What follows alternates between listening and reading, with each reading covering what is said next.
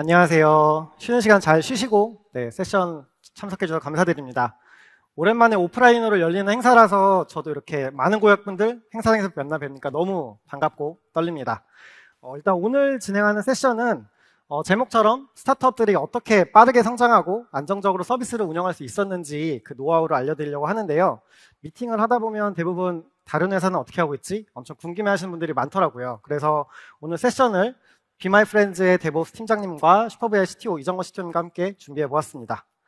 어, 오늘은 크게 세 가지 아젠다를 설명드릴 텐데요. 첫 번째로는 스타트업이 왜 managed를 써야 하는지, 두 번째로는 비마이프렌즈에서 어떻게 글로벌 팬덤 비즈니스를 서비스 개발하고 운영하고 있는지 세 번째로는 슈퍼브의 AI에서는 어떻게 MLOps product를 개발하고 운영하고 있는지를 알려드리고 마무리 짓고자 합니다.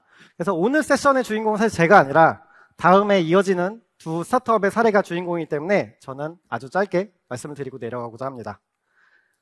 네, 그 좀 더 본격적으로 얘기하기 전에 간단하게 좀 생각하고 넘어가면 좋을 것 같은데 어, 제목은 있지만 잠깐 생각해보고 넘어가면 좋을 것 같아요. 스타트업들이 왜 어려울까요? 여기에 아마 많은 스타트업에서 오신 분들도 계시겠지만 여러 가지 고민거리가 있으실 것 같아요. 근데 저희가 생각하기에 크게 세 가지 정도를 한번 예시를 들어서 생각해 보려고 합니다. 첫 번째로는 네, 돈입니다. 이 투자금의 제한적인 투자금 혹은 엔젤 투자 아니면 코파운더들이 자금으로 만든 네, 설립한 경우들이 많이 있죠. 근데 이 자금이 무한정 있지 않기 때문에 굉장히 사실 어려울 것 같습니다. 그리고 두 번째 같은 경우는 리소스입니다. 어, 특히 이제 여러 여기 계신 분들 중에서 채용 때문에 고민하지 않으신 분도 없으실 것 같습니다. 예, human resource 포함해서 resource가 굉장히 부족하죠. 그리고 채용하기도 어렵고 retention하기도 어렵고 그리고 마지막으로는 시간입니다. 어, 무한정 시간이 있지 않기 때문에 제한된 리소스와 제한된 자금과 그걸로 time to market해서 여러분들의 서비스와 product을 네, 잘 성공시켜서 로켓을 출발시켜야 되는데 이런 것들을 다 해내기가 사실 어려울 수밖에 없다고 생각이 됩니다. 그래서 굉장히 어려울 수밖에 없는데 그걸 또 잘 해내고 있기 때문에 저희는 항상 스타트업들을 응원하고 있습니다. 특히 여기 있는 것처럼 굉장히 비즈니스나 tech 영역에서 많은 것들을 해야 되고 또 이거를 굉장히 소수의 인원이 해야 되기 때문에 저희는 이것들을 좀 어떻게 하면 더 잘할 수 있을까 도와드리려고 노력을 하고 있는데 잠깐 돌아와서 인프라 운영 도메인을 좀 생각해 보도록 할게요. 인프라 운영하시는 분들은 대부분 공감하시겠지만 여기 나와 있는 수많은 일들을 정말 한두 명의 DevOps라든지 소수의 인원들이 수행을 하셨어야 돼요. 뭐 백업이라든지 패치라든지 버전 관리라든지 진짜 많이 해야 되죠. 그리고 심지어는 ISMS 인증 같이 여러 가지 인증도 취득을 하셔야 돼요. 근데 이것들을 정말 소수 인원이 다 하기 어렵기 때문에 managed 서비스를 저희는 쓰시라고 가이드 드리고 싶습니다. 왜냐하면 어, 여러분이 그냥 생각해보면 DB를 예를 들어 생각해보면 DB의 이중화 구성, 스냅샷 백업, 그 다음에 뭐 복구, 버전 관리, 업그레이드, 패치 이런 것들을 여러분들이 일일이 직접 수동으로 하시려면 정말 어려우실 거예요. 근데 하지만 RDS나 Aurora처럼 managed 서비스 쓰시면 이런 반복적인 운영 업무를 감소시킬 수가 있고 그리고 여러분들이 뭐 원하는 피처나 서비스 개발을 좀 더 속도를 내실 수가 있습니다. 그리고 AWS가 운영해 드리기 때문에 가용성이나 신뢰성을 향상시킬 수가 있겠죠. 그래서 어, 완벽한 아키텍처보다는 여러분들이 좀 더 생산성 있는 코어 업무나 한 줄에 기능을 개선시킬 수 있는 코드를 좀 더 개발하는 데 시간, 시간을 집중하시고 좀 더, 네, 더 나은 생산성을 가지셔서 운영하시길 바라기 때문에 메이지 서비스를 쓰시라고 알려드리고 말씀드리고 싶습니다. 네, 그러면은 다음으로 두 스타트업의 이야기를 들어볼 텐데요. 많은 박수로 네, 맞이 부탁드리겠습니다. 아, 안녕하세요. 발표를 맡은 글로벌 팬덤 비즈니스 스타트업 비마이프렌즈의 DevOps team lead 하명진입니다.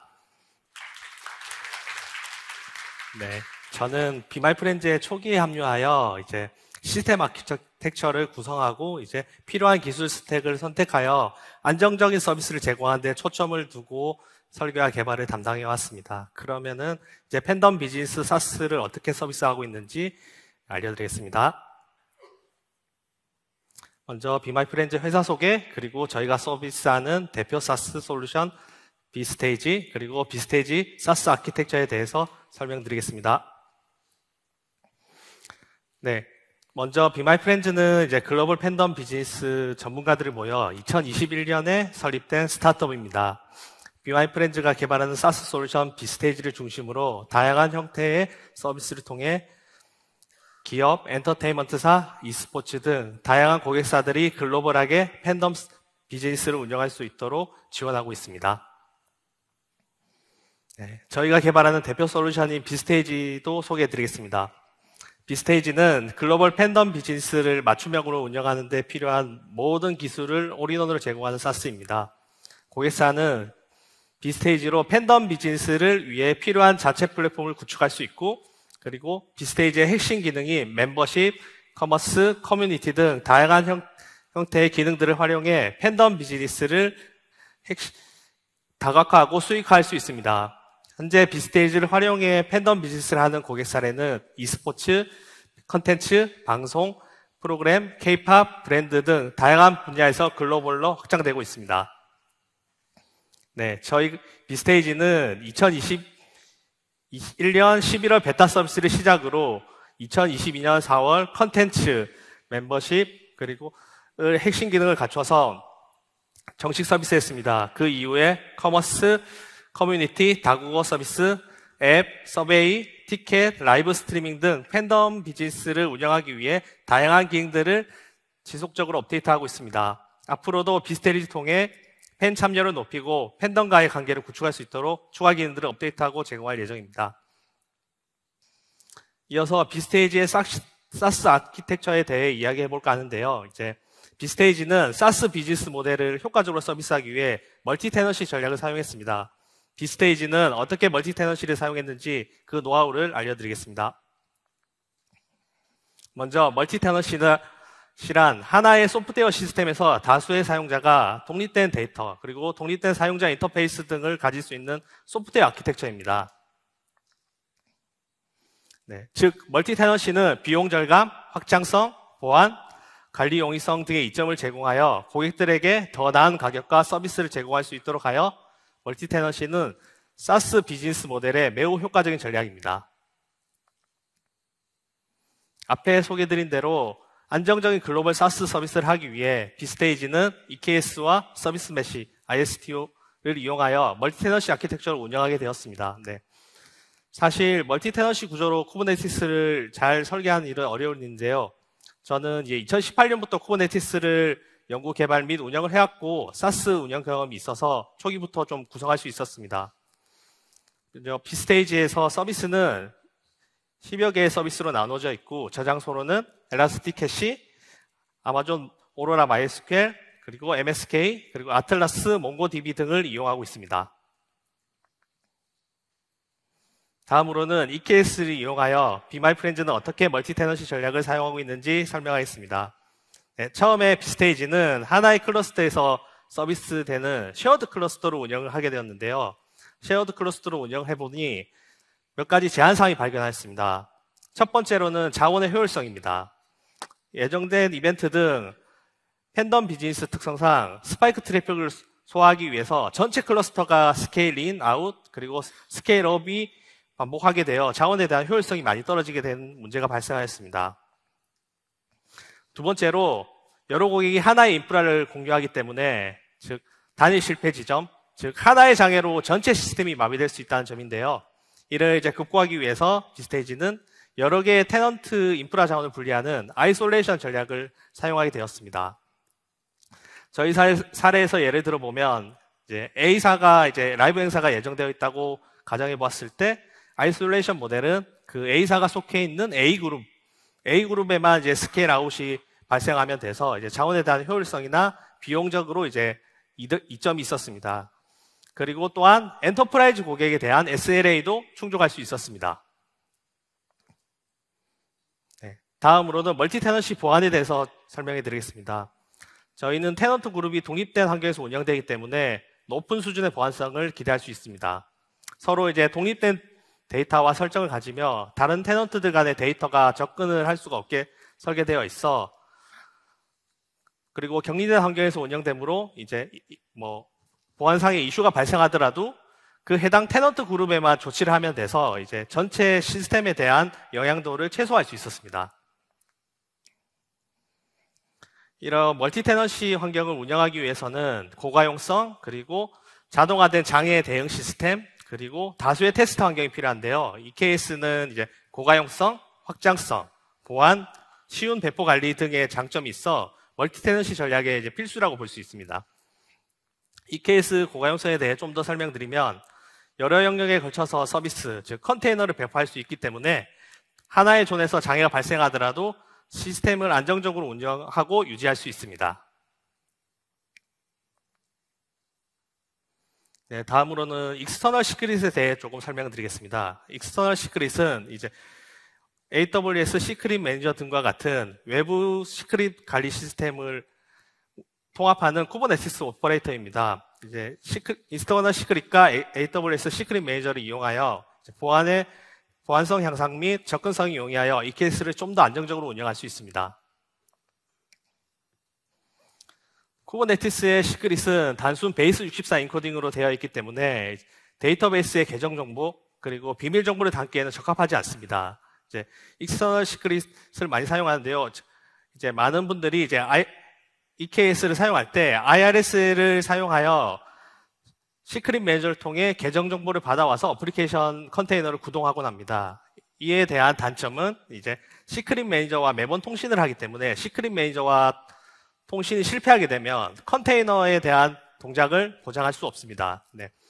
그래서 이런 방식에서 보완할 수 있는 것이 external secret인데요. 이제 external secret은 이제 컨테이너가 시작할 때 매번 external sec, 그 외부에 있는 AWS 시크릿 매니저나 외부 provider와 통신하지 않아도 secret store에 저장되어 있기 때문에 외부 통신이 실패하더라도 컨테이너에 대한 동작을 보장할 수 있습니다. 다음으로는 multi tenancy 운영에 대해서 설명드리겠습니다. 저희 CI/CD 운영은 이제 저장소는 self-hosted GitLab을 사용하고 있고 CI/CD는 GitLab Runner를 이용하여 다양한 tenant 환경에 지속적으로 컨테이너를 배포하고 있습니다. tenant별로 배포 시기를 다르게 정하여 영향 범위를 최소화하고 안정적인 운영을 하고 있습니다. 옆에 보이시는 그림은 저희 실제 배포하는 그림이고요. 네, 넘어가겠습니다.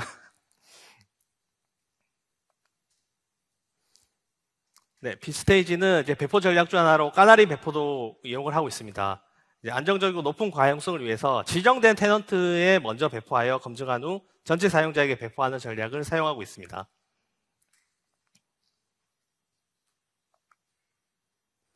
네, 화면에 보이시는 바와 같이 이제 Chrome extension을 통해서 미리 새로운 버전에 접근하여 확인할 수 있습니다. multi tenancy를 이제 효율적으로 운영하기 위해서는 이제 모니터링이 필수인데요. 저희 metric은 시계열 데이터베이스인 VictoriaMetrics를 사용하고 있고 APM은 Datadog 그리고 어플리케이션 로그는 Promtail을 이용해서 Grafana Loki에 저장하여 사용하고 있습니다. 해당 그룹, 해당 그림은 저희 실제 모니터링 시 참조하는 화면이며 저희는 tenant별, 특정 resource별, 서비스별 모니터링 항상 주기적으로 체크하고 있습니다. 네, 서비스를 운영하시다 보면 걱정해야 될 부분이 이제 spike traffic인데요. spike traffic을 처리하지 못하면 사용성 저하로 인해 고객 이탈 및 매출 감소로 이어질 수 있습니다. 네, 행복한 고민이죠. 팬덤 비즈니스 특성상 예, 상치 못한 이제 spike traffic이 종종 발생하곤 하는데요. 이제 예를 들어 아티스트가 컨텐츠를 업로드한다고 가정해 보면 이제 동시에 팬들에게 push가 동시다발적으로 발송되고 이제 단기간에 이제 팬들이 유입해서 spike traffic이 발생하게 됩니다. 그럼 이제 어떻게 대응을 해야 될까요?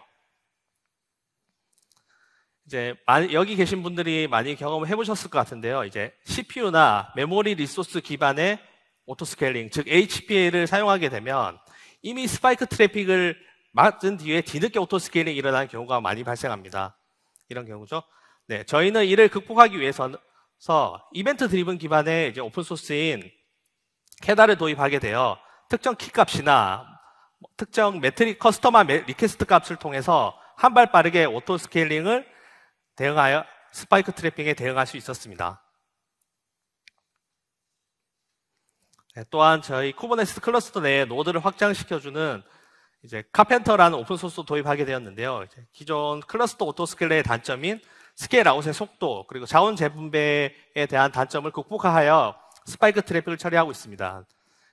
앞에 소개해드린 KEDA와 Karpenter를 같이 사용하면 빠른 auto scaling으로 spike traffic에 대응하기 굉장히 좋습니다.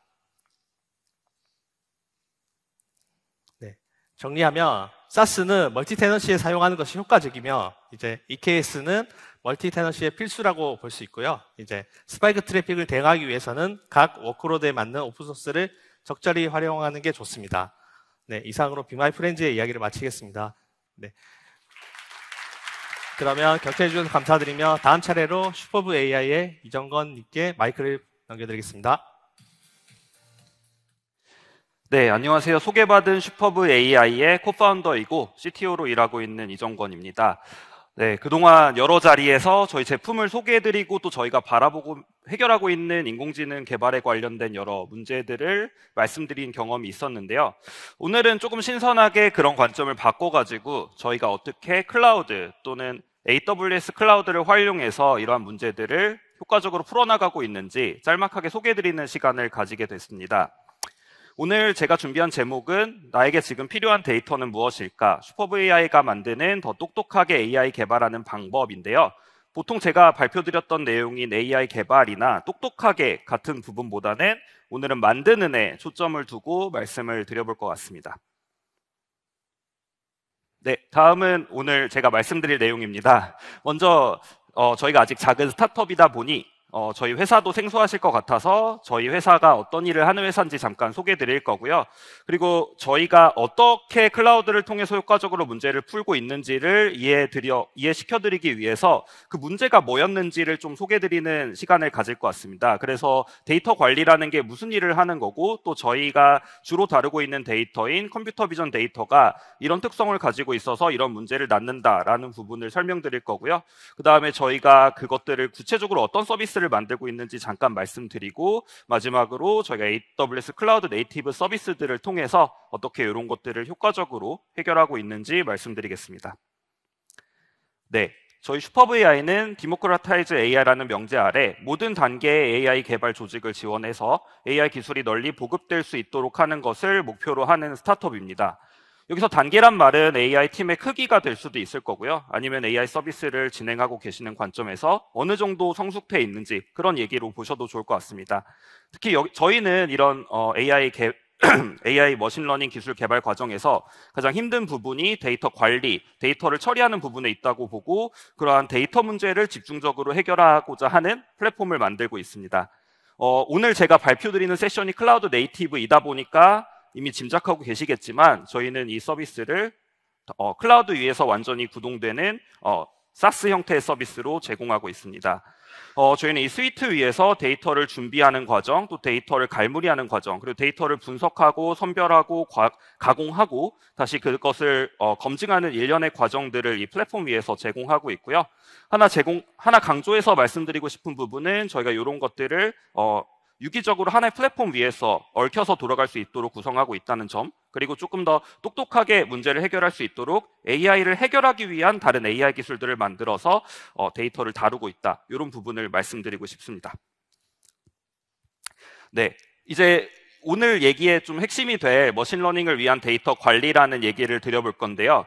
어, 먼저 저희가 machine learning을 이용해서 서비스를 한다고 하면은 뭐 인프라 처음에 결정해야 되는 거는 인프라나 모델이 되겠죠. 특히 이제 모델을 결정하고 나면 저희가 어, 놓여 있는 서비스 환경에 따라서 얼마나 많은 어, 모델 inference 요구량이 있을 것이며 얼마나 많은 모델을 사용해야 될지 결정이 될 거예요. 그러고 나면 이제 인프라도 결정되고 나면 결국 AI나 machine learning 기술을 사용해서 서비스하는 일련의 과정 저희가 보통 MLOps라고 부르는 이 과정은 데이터 관리 과정의 반복이 됩니다. 뭐 먼저 이제 왼쪽에 train이라고 되어 있는 훈련 쪽을 살펴보면 특히 이제 AI를 서비스하는 과정에서 어, 모델을 바꾸고 모델의 알고리즘이나 hyperparameter를 바꾸는 것이 당연히 모델에 영향을 주겠지만 저희가 더 직접적이고 반복적이고 또 분석을 통해서 수행할 수 있는 방법은 데이터를 데이터의 변화를 통한 모델의 변화입니다. 저희가 그냥 가, 아주 간략하게 생각을 하면 모델이라는 것은 결국 데이터가 가지고 있는 분포를 그대로 따라서 학습을 하는 거가 되기 때문이죠. 뭐 극단적으로 보면은 여기 써뒀듯이 뭐 GPT 모델을 fine-tune 하거나 아니면 AutoML이라고 불리는 뭐 AWS SageMaker 등 등을 통해서 서비스되는 Autopilot 등을 통하면 저희는 모델에 대해서는 아예 어, 큰 관심을 갖지 않고 데이터의 분포만으로도 저희가 원하는 AI 모델을 만들 수도 있습니다. 그리고 이렇게 데이터를 만들고 나면 결국 deploy 과정을 통해서 서비스에 적용을 하게 될 거고요. 서비스에 적용을 하고 나서 당연히 그러면 이제 개선점을 찾게 될 텐데 그 부분도 machine learning의 경우에는 데이터를 통해서 이야기를 해야 됩니다. 저희가 만약에 deterministic한 알고리즘을 가지고 어떤 서비스를 구성해서 하고 있다고 하면 저희가 해야 될 일은 edge case를 찾고 거기에 대해서 알고리즘을 수정하고 다시 배포하면 되는 일인데 machine learning 모델 같은 경우는 어떤 경우에 저희가 오류를 만났다고 해서 그 모델이 그거랑 굉장히 같은 거의 비슷한 사례에 똑같이 오류를 낼 거라는 것을 보장할 수 없습니다. 그렇기 때문에 저희는 결국은 이 모델이 어디서 어떻게 잘못 동작하고 있는지를 확률적으로만 알아낼 수 있고 그렇기 때문에 저희 서비스 환경과 유사한 혹은 전략적으로 특정한 edge case를 가지고 있는 데이터를 구성해서 어, 모델의 성능을 파악하고 데이터를 수정함으로써 다시 모델을 개선해야 되는 것이죠. 그러니까 저희가 결국 machine learning을 위한 데이터 관리라고 하면 해야 되는 일들은 우리가 무슨 데이터를 가지고 있고 우리에게 데이터에 담겨진 어떤 서비스에 관련된 의도는 무엇이고 그러니까 데이터 하나하나 어떤 일들이 안에 일어나고 있는지 깊게 살펴봐야 된다는 얘기가 됩니다. 그런 데이터 중에서도 저희는 특히 computer vision 데이터를 다루고 있는데요. 대표적으로 computer vision 데이터라고 하면은 이미지나 비디오, 요새 많이 사용되는 이제 3차원 공간을 모델링하는 point cloud 등이 있습니다. 이런 데이터들의 공통적인 특징은 여러 파일들이 하나의 데이터 단위, 그러니까 저희가 일반적으로 생각하는 데이터 row를 구성하게 된다는 점이 있고요. 이것들이 파일로 되어 있기 때문에 당연히 일반적인 데이터베이스에 그대로 저장할 수 있는 것이 아니라 별도의 object storage를 요구하게 됩니다. 그리고 상대적으로 되게 큰 용량을 가지고 있기도 하고요. 그래서 전수, 단순하게 이제 데이터를 가져오고 않은 부분에도 많은 신경을 써줘야 됩니다. 그리고 computer vision 데이터 같은 경우는 단순하게 저희가 이 데이터의 내용을 파악하기 어려운 점도 굉장히 큰 특징인데요.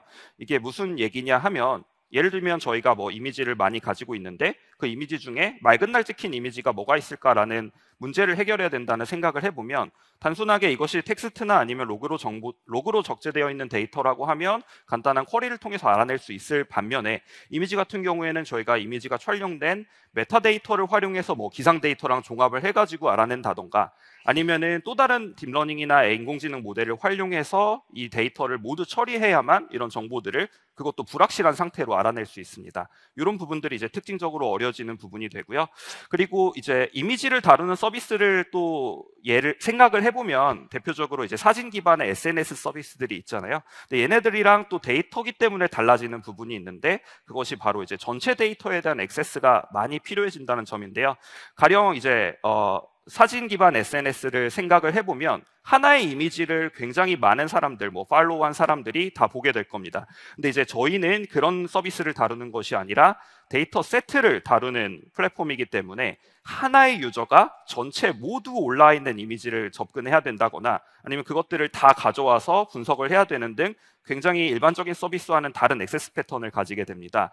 그리고 이 문제를 통해서 결국 AI 모델을 만드는 고객들이 이것을 사용하기 때문에 고객별로 또 풀어야 되는 문제의 난이도별로 사용 규모의 편차도 굉장히 현저하게 일어나게 됩니다. 네. 그래서 지금까지 machine learning과 인공지능을 위한 데이터 관리 얘기 그리고 computer vision 데이터가 가지는 좀 특징을 몇 가지 짚어드려봤고요. 어, 이제 그런 정보들을 가지고 그러면은 플랫폼이라는 것들이 무슨 기능으로 구성되어 있는지 한번 간단하게 살펴보고 넘어가, 넘어가겠습니다. 네, 먼저 말씀드릴 거는 데이터 생산 라벨이라는 관점이고요. 이것은 이제 대표적으로 이미지를 이렇게 사람이 이해할 수 있는 형태로 이렇게 표시하는 일에 가깝습니다. 아마 많이 요새는 이런 거를 많이 보셨을 것 같은데 가령 이 예시로 들어져 있는 이미지를 보면 이미지 위에 뭐 이렇게 보라색으로 칠해진 영역은 사람이고 빨간색으로 영, 칠해진 영역은 traffic sign이라는 표시를 남겨놓는 것이죠.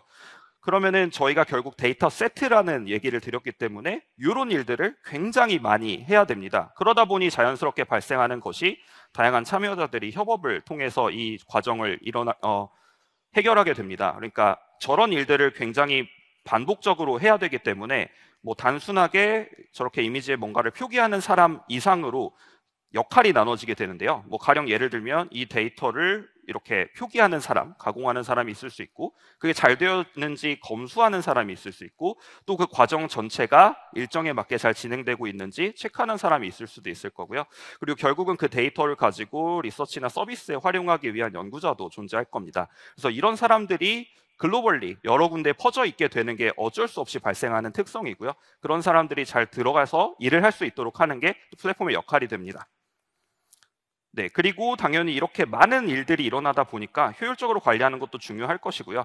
그렇기 때문에 데이터가 변화하는 이벤트 이벤트 간에 그런 정보들을 다 모아가지고 착착착 놔둬서 나중에 무슨 일이 일어났었는지 아니면 우리가 뭘 잘못하고 있는지 잘하고 있는지 알아야 되는 모니터링 기능도 필요할 거고요.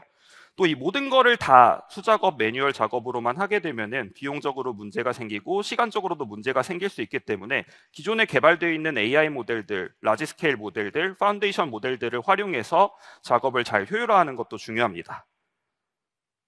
네, 그리고 또 이제 AI 산업이 본격적으로 탄력을 받은 지 거의 뭐 크게 따지면 10년 정도 지났는데 그렇기 때문에 단순히 데이터 생산을 하는 것뿐만 아니라 관리하고 통찰하는 부분도 굉장히 중요해졌습니다.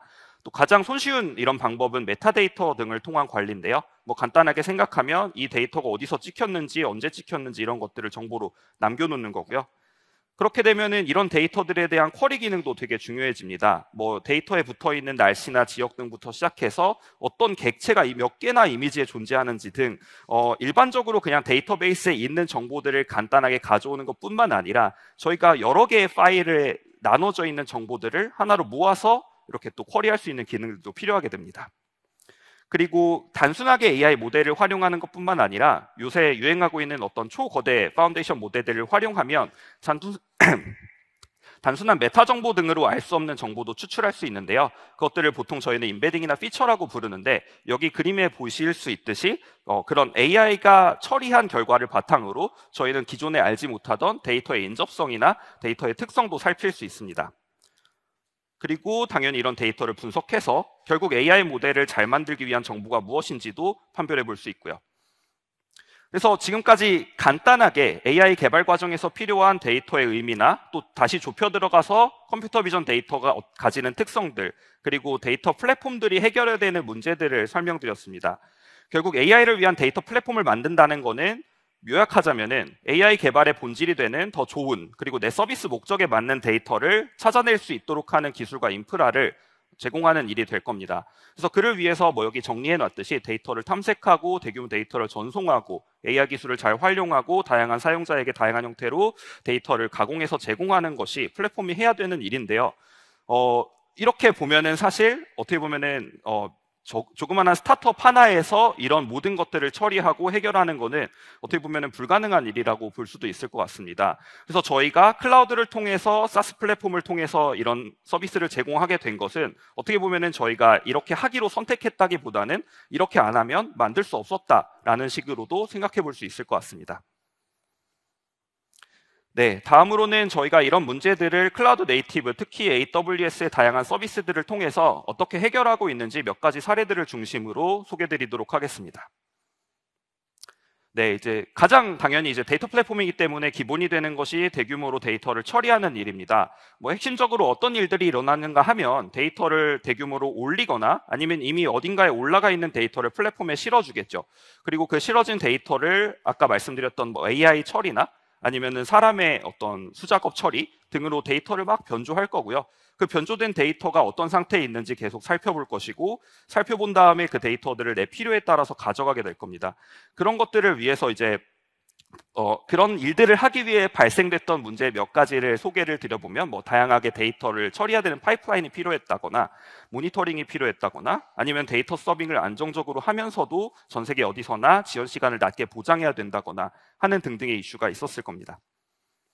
먼저 이제 다양한 데이터 처리 파이프라인 얘기를 드려볼게요. 이게 무슨 일이 되냐면은 뭐 예를 들면 이미지가 플랫폼에 올라온다고 하면은 저희는 이 이미지를 어떤 목록으로 보여주기 위해서 thumbnail을 만들어야 될 수도 있고요. 아니면은 데이터 가공 과정에서 빠르게 전송을 하기 위해 JPEG 알고리즘 등을 통해서 새롭게 압축을 할 수도 있습니다. 그리고 다른 AI 서비스들과 연결된 서비스들에서 이 이미지를 활용해야 되기 때문에 이 이미지가 과연 밸리드한 이미지인지 우리가 쓸 수 있는 파일인지도 판단을 해야 되죠. 그래서 이런 모든 것들이 미리 돌아가 있지 않으면은 그냥 이미지가 올라와 있을 때 다른 연결고, 연결고리들이 다 망가질 수가 있습니다. 그리고 뭐 가령 비디오 데이터가 업로드되는 경우에는 저희가 어, 초당 몇 장의 이미지를 추출할 건지 결정해서 그런 이미지들을 비디오, 비디오로부터 미리 꺼내놔야 될 수도 있고요. 그리고 반대로 어떤 과공 과정이 끝난다고 하면 이미지에 어, 기록되어 있던 정보들을 모아가지고 편안하게 압축 파일로 만들어서 연구자가 사용할 수 있게끔 전달해야 되는 부분도 있을 수 있습니다. 그래서 이런 식으로 저희가 안에 플랫폼 안에 들고 있는 데이터들을 이렇게 저렇게 가, 어, 다양하게 만들어야 되는 어, 이슈들이 있는데요. 이런 것들을 만약에 저희 보고 그냥 뭐 Python script로 짜라 하면은 굉장히 쉬운 일이 되지만 문제는 대량으로 일어나야 되고 또 누가 요청했을 때 누군가 때문에 block되지 않아야 하고 오류가 하나 나더라도 다른 task들은 문제없이 잘 수행되어야 되고 이런 부분들이 있을 겁니다. 그래서 저희는 이런 문제들을 해결하기 위해서 어, AWS Step Function을 아주 적극적으로 사용하고 있고요. 여기서 이제 AWS Lambda나 Fargate에 등록된 사전 이미지들을 통해서 serverless workflow를 통해 데이터를 효과적으로 처리하고 있습니다. 네, 그리고 아까 말씀드렸듯이 플랫폼 위에는 협업하는 사람도 많고 AI도 동작하고 전처리도 있고 후처리도 있습니다. 그래서 데이터 변조라는 이벤트가 굉장하게 많은 원인으로 자주 일어납니다. 그래서 저희 서비스의 초기에는 뭐 예를 들면 데이터를 내가 보고 있다가 어, 자고 일어났더니 어, 내 거가 아닌데 하는 문제들이 일어나기도 했었습니다. 이런 부분은 플랫폼의 보안 그리고 신뢰성을 해치기 때문에 굉장히 중요한 문제였는데요. 이런 부분도 사실은 저희가 직접 만들자고 하면 굉장히 어려웠을 부분일 텐데 AWS Cloud, CloudWatch를 통해서 로그 어, log들을 다양하게 분리해서 쌓고 또 Log Insight를 통해서 쉽게 query할 수 있음으로써 이런 문제들을 손쉽게 해결할 수 있었습니다. 그리고 이제 데이터 서빙도 굉장히 어떻게 보면 어려운 문제가 되는데요. 사실 어려운 문제여야 하는데 저희는 S3에서 데이터를 서빙하고 presigned URL을 통해서 제공했기 때문에 어, 려운 문제여야 했으나 쉽게 풀 수 있는 문제가 되었습니다. 하지만 또 이제 두 번째로 등장했던 문제가 전 세계 어디에서나 낮은 지연 시간을 보장했다는 문제인데요. 뭐 가령 예를 들면 연구자는 미국에 거주하고 데이터 프로젝트를 관리하는 사람 한국에 있고 데이터 가공을 담당하는 사람은 또 다른 나라에 있는 경우였습니다. 이런 경우에 만약에 저희가 특정한 AWS 리전의 데이터를 올려놓고 사용을 한다고 하면은 필연적으로 이제 지연 시간이 발생할 수밖에 없습니다. 물론 이제 아시는 부분이 있겠지만 이런 경우는 이제 CDN이라는 방법을 통해서 지역의 데이터를 캐시함으로써 해결할 수 있는데요. 저희의 사례는 아까 이제 SNS 서비스 얘기를 드렸던 거랑 비슷하게 이런 방법으로 해결되지 않았습니다. 왜냐하면은 저희의 어, 사례 같은 경우는 데이터를 하나의 사람이 이제 그러니까 하나의 데이터를 여러 사람이 동시에 보는 것이 아니라 하나의 데이터는 비용 문제 등으로 인해서 한두 명만 바라보는 그런 분포를 가지게 됐습니다. 그래서 CDN을 통해서 데이터를 배포하더라도 쉽게 이것이 처리되지 않았죠. 그래서 이런 부분을 만약에 그럼 생각해 보면 데이터를 올리고 이것이 자동적으로 적절한 지역에 퍼져 있고 또 그것에 access할 수 있는 시스템이 구축되면 좋을 것 같은데요. 이걸 또 만약에 직접 하라고 하면 굉장히 어려운 부분이 됐겠지만 어, AWS S3에서 제공하는 Multi-Region Access Point라는 기능을 통해서 이런 부분을 또 쉽게 해결할 수 있었고요. 그리고 또 데이터 세트라는 특성을 가지다 보니까 데이터 이런 데이터에 access하는 어떤 패턴도 굉장히 특 징을 가집니다. 그러니까 이 데이터가 필요로 할 때는 굉장히 빈번하게 또 대량으로 데이터의 access가 일어나고 그렇지 않은 시기에는 굉장히 긴 idle time을 가지는데요. 이런 부분도 Intelligent-Tiering을 활용해서 쉽게 비용 최적화를 이룰 수 있었습니다. 네. 그리고 앞서 AI 필요성을 설명했듯이 어, AI가 되게 중요한데요. 하지만 AI를 돌리기 위해서는 GPU라는 희소한 자원이 필요합니다. 특히 학습을 돌리는 경우에는 이 GPU 자원이 엄청나게 많이 필요한데요. 뭐 요새 유행하는 이제 foundation model들의 경우에는 거의 몇 주 이상으로 GPU를 점유하고 활용하는 일도 있습니다. 그래서 저희가 아무리 뭐 GPU를 만약에 많이 가지고 있다고 하더라도 늘 병목을 걱정해야 될 수밖에 없는 거죠. 그리고 AI 모델을 학습하고 나면 파라미터라고 부르는 그 AI가 가지고 있는 정보들 그것들을 저장하는 일도 만만치 않습니다. 보통 작게는 수백 메가에서 크게는 수 기가바이트에 이르는 어, 정보를 저희가 항상 들고 있어야 되기 때문이죠. 그래서 저희는 지금 어, AWS에서 제공하는 세이지메커를 통해서 GPU 자원을 탄력적으로 운영하고 있습니다. 특히 훈련 같은 경우는 말씀드렸듯이 GPU 소모량이 크기 때문에 저희 자원만 가지고는 해결하기가 굉장히 어려웠고요. SageMaker를 사용하는 관, 어, 과정에서 좋았던 점은 SageMaker를 위해서 필요한 코드 변경의 양이 굉장히 작았다는 점입니다. 그래서 저희가 연구 단계에서 사용하는 코드에 대해서 최소한의 변경만으로 SageMaker에서 돌릴 수 있는 코드를 만들어낼 수 있었고요. 어, SageMaker에서 도는 어, 코드의 그 변경이 작았기 때문에 저희가 on-demand로 사용하고 있는 그런 local GPU 자원을 활용하는 부분도 SageMaker에서 사용하는 모든 어, 자원을 그대로 사용할 수 있었습니다. 뭐 가령 이 AI 모델이 구동되기 위한 이미지 instance를 ECR에서 똑같이 사용한다거나 아니면은 이 모델을 trigger하기 위한 input들도 공통된 SQS 통, SQS queue를 통해서 받는 식으로 해서 local에 있는 GPU 자원과 그게 만약에 없는 상황에서 SageMaker를 사용해서 이제 일을 처리하는 과정을 효율적으로 병렬화할 수 있었습니다. 네, 그리고 초기에는 여기 위에 그림에 보이시듯이 어, 떤 라벨 데이터를 가공하고 처리하는 그런 서비스들이 굉장히 단순했습니다. 그리고 AI의 추론 결과도 사람의 그것을 따랐기 때문에 별도의 인프라가 필요하진 않았는데요. 그러나 아까 몇 가지 설명을 드렸듯이 그리고 요즘 여, 여러분들께서도 느끼고 계시겠듯이 AI가 굉장히 급속도로 발전하고 가속하고 있기 때문에 어, 기술도 복잡한데 그 기술 자체도 복잡한데 이것들을 저희는 빠르게 개발해서 POC 해봐야 되는 니즈들이 있습니다. 그래서 전문 영역들을 어떤 개발팀에서 한꺼번에 다루기는 점점 힘들어지고 있고요. 그래서 저희도 이런 것들에 대응, 대응하기 위해서 점점 더 서비스들을 모듈화하고 마이크로 서비스화하기 시작했습니다. 그리고 이것들을 이벤트 드리븐을 이벤트 기반의 연동을 통해서 유연하게 연결함으로써 어, 개발 속도를 빨리 가져갈 수 있었는데요. 어, 지금 그래서 최근에 개발되고 있는 feature들은 모두 EKS의 Kubernetes cluster 위에서 containerized application으로 제공되고 있고요. 이런 경우에 사실은 어, 데이터베이스를 Kubernetes 위에서 어떻게 운용할 것인가도 문제가 되는데 어, 여기서도 생각을 길게 하지 않고 일단 managed 데이터베이스를 쓰자라고 결정을 해서 그렇게 활용을 하고 있습니다. 그래서 뭐 가령 예시를 들면 어, 떤 데이터가 적재되고 나면 데이터의 적재 이벤트를 통해서 이런 여러 가지 어플리케이션들이 어, 이벤트 구조로 연동되어서 쉽게 어, 서비스를 만들 수 있게 된 것이죠.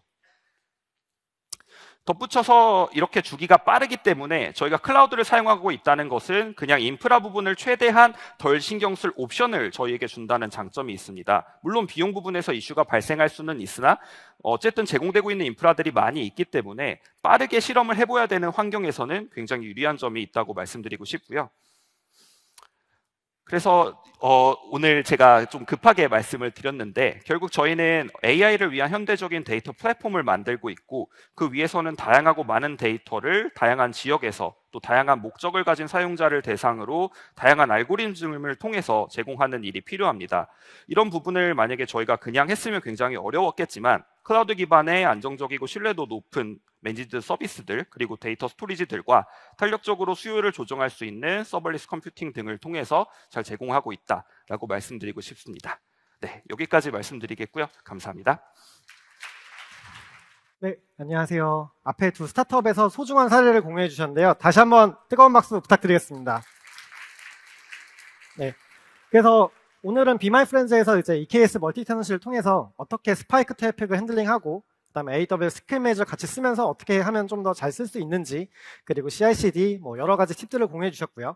Superb AI에서는 MLOps 관련해 가지고 여러 가지 네, 팁들과 어떤 managed 서비스 어떤 서비스인지를 말씀드렸습니다. 그래서 다시 한번 좀 정리해서 말씀드리면 저희는 바퀴를 재발명하지 말라고 말씀을 드리는데요. 이제 많이들 간과하는 부분이 어, 초기 구축 비용만 생각하시는 분들이 굉장히 많습니다. 근데 사실 초기 구축 비용뿐만 아니라 인프라 운영을 하고 유지 보수하고 관리에 들어가는 것도 사실은 비용입니다. 이것도 하나의 resource가 들어가고 투자이기 때문에 이것도 TCO 관점에서 같이 고려하는 게 필요합니다. 그래서 무엇을 만들 것인지 좀 더 본질에 집중하고 제품의 가치를 높여서 지속적인 경쟁 우위를 가져가실 수 있도록 최대한 많은 뭐 managed 서비스와 serverless 서비스를 이용하시면 좋을 것 같고요. 여러분들이 잠깐 생각해 보시면 10년 전에는 서버에 리눅스 설치하고 이렇게 관리하는 게 중요했지만 지금은 클릭 몇 번으로 다 설치가 되잖아요.